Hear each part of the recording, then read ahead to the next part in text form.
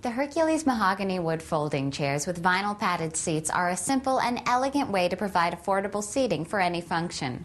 The half inch thick padded seat is upholstered in black vinyl, and you can remove it for easy cleaning.